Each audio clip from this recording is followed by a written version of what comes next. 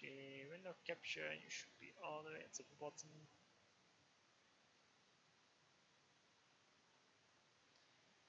Go.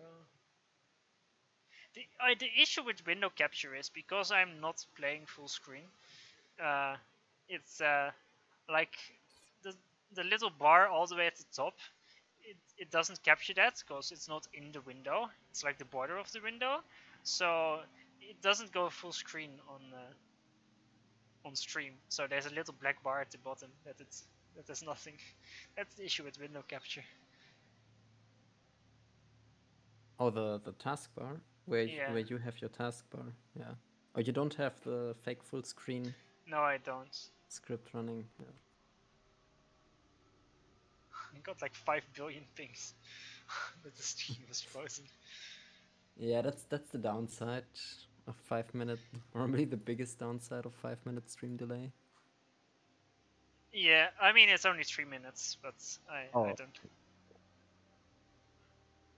I don't like the stream delay anyway, but in tourneys like this, I guess it's not always uh, a workaround.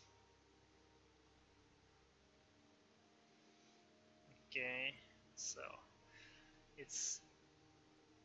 Let me update the scores as well. So much to do, so little time. There we go. So it's 1 1. This is a best of 3, so this should be the last series. Last match, that is. Yeah. This Um, is the deciding game. Both picked UEF on open palms. It's uh, a decent uh, pick. Uh, uh, very logical pick.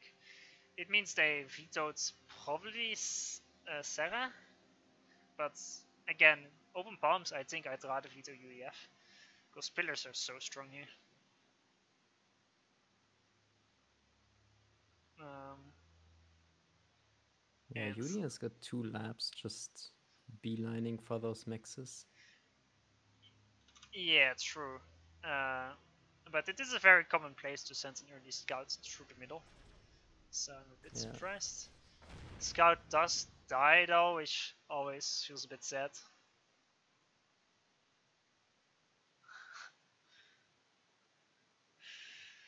Okay. Nice. Now I get it. I get the sound back. and I don't hear any sounds. I only hear them once, and then the sound doesn't display oh, anymore. Oh, yeah, that one. And I, and the last time I had it, it just auto fixed itself after a few days. But I don't know how to fix it myself. Oh, Yeah, usually restart is enough, but yeah. Sometimes it's a bit more resilient. yeah.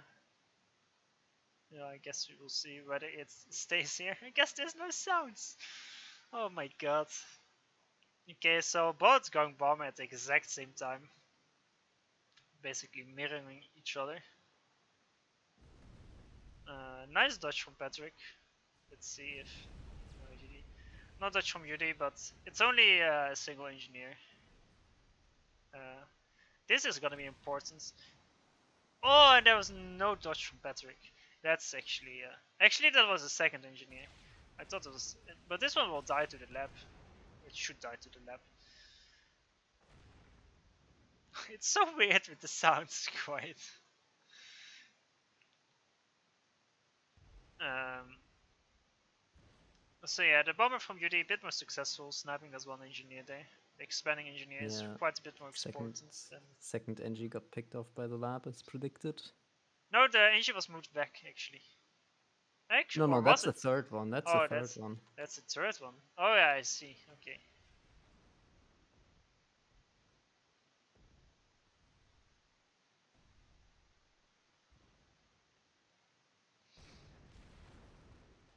Okay, okay, okay, okay, okay. Um, Start seems to be a lot better for Petric. He has way more tro troops, doesn't he? 1k in tanks versus 640. He has a lot more tanks. I feel like Yudi is... No, he is nice eco balance actually. When I look at this base and I see open palms, it's... You always think you have massive, but then you start stalling hard. Yeah, and then you start to overflow when you get your expansions. I mean, Yudi is a lot faster with his ACU. He's gonna get the top right expansion. Yeah, but Petric But- secured his own side a lot better, Yeah. which is why he is slower. But um, so I think in in the end it will be slightly better for Petric. That's but um, there's a lot more troops uh, around Yudi's ACU, so you should be a bit careful. There's transport out from Petric to drop the sides. Throwing shoots for Yudi. Uh, there is one shoot for Yudi. We'll start now. But look at all these blue units around Yudi's base. He's really uh, it hasn't been going great for him. He just has way less units. Petric has 1, 2, 3, 4, 5, 6, 7 factories, land factories. But Yudi has 8. I don't know how this happened. Did he... He doesn't have Maybe insane Petric just had them sooner, yeah. I guess he had them sooner. Uh, but still, it's it's it's very weird when it happens like this. It's when you're like, wait, they all had pretty much even the entire game, but one of them has like 20 to 30 more tanks out of nowhere. Like when they, I don't really understand. It's Yeah. sure. Petric accidentally Uh, by the way, five MEAs. Yeah, who do you think will secure his back expansion first? I think uh, nobody. they will just keep sending infinite engineers. At least uh, Petric has a single mex. uh, actually, uh, Yudi, uh, sent five tanks to raid. It's probably a bit too much. They will kill a single mex, but they will all die, and they will bring Petric's troops close enough to the back to maybe kill the lab.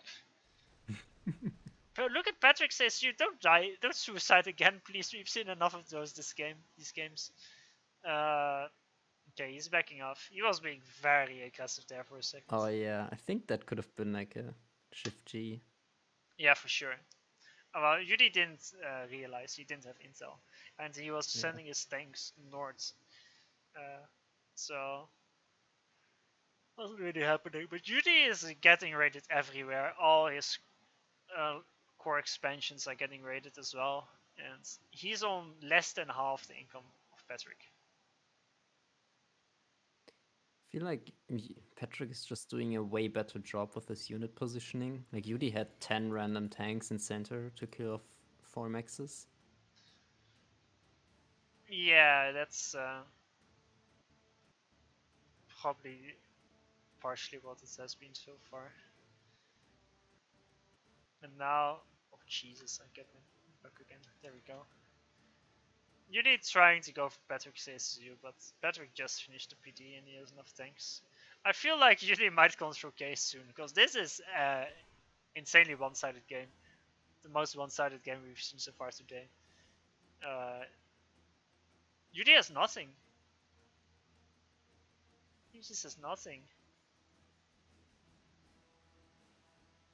Even tanks dropping at the back. That's quite brutal. I'm surprised Petric is still being so aggressive with his ACU and not just retreating.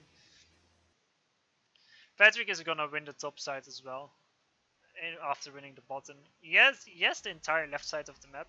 While Yudi has Yudi is is down to like eight mexes. It's his core base and the four mexes north. That's that's very very painful. This is not a fun game to watch or play. But Petric is pretty good on open palms, isn't he? Yeah, he is. I remember, remember that he's considered one of the best here. Um, I, I wouldn't say one of the best. I mean, he would be one of the best because you know if he's in form, he is one of the best. Yeah. so it's kind of one and one makes two. But if he's specifically good on open palms, I I'm not too sure.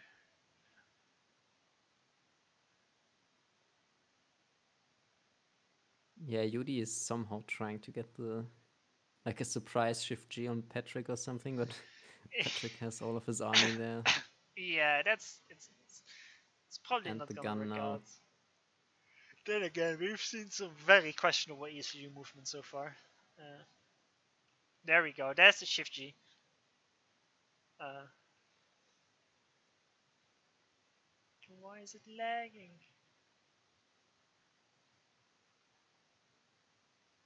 Jesus. There we go. I have this weird bug for my uh, FAF. It's so weird watching this without any sounds. I have this weird bug for FAF that every now and then it's, I randomly get like 10 FPS and then it's back to 60. It's really weird. Okay, uh, it seems like uh, Arma was kind of right about this series, which is a bit sad. But uh,